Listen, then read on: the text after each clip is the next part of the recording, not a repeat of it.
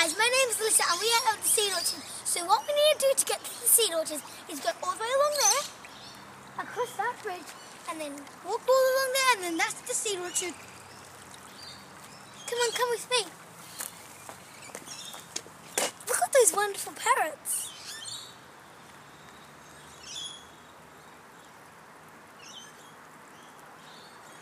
Come on.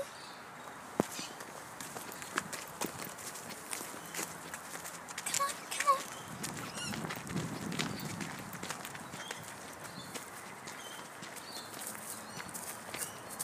Come on, let's go.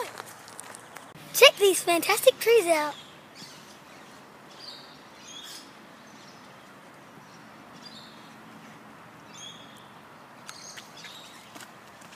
Come on. These are tawny frogmouths.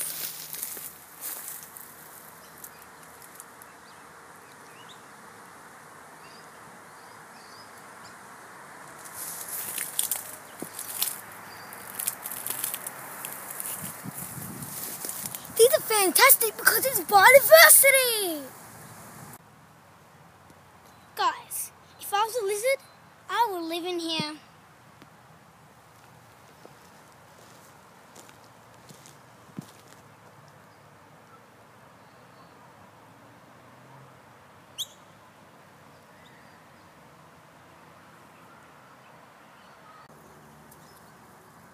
Guys, if I was a wallaby, I would live in here because it's habitat.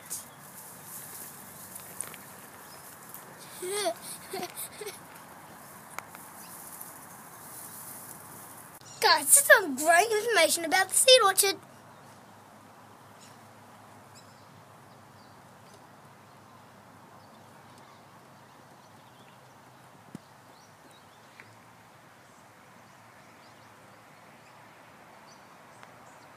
Lemongrasses and a ruby saltbush and rocks.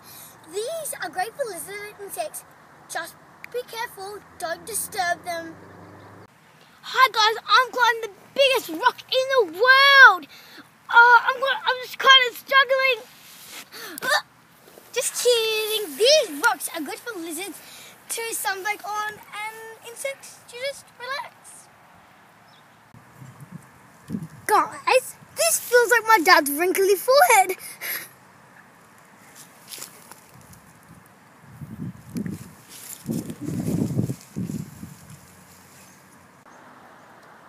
Oops. I was busted. I was hugging a tree.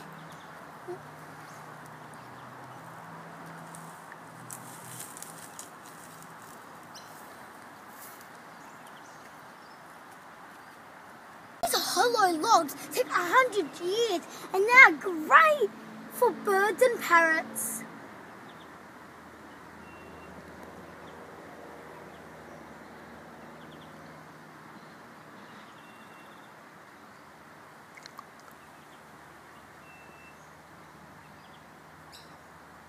Alyssa and I love biodiversity.